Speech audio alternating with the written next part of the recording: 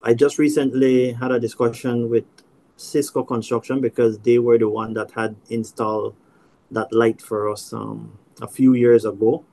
And so I spoke with them just last week to see if they could initiate contact with the supplier um, because I understand from discussions with them that we need some parts. And so they're trying to see if they could seek those parts for the ministry and to try and get them uh, reinstalled um, to get that light up and running back again.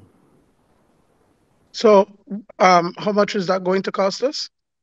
Um, we haven't received the estimate as yet from the contractor, and so we're still waiting on that because they're all electronic parts.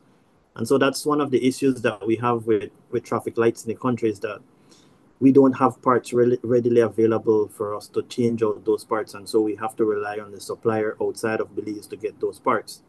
Sometimes when we order these lights, um, some of these um, components of the traffic light become obsolete. And so it's difficult for us to find parts for them.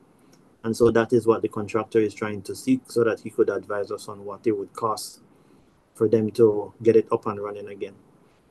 But as soon as um, we could get that information, we will try and initiate that to get those lights back.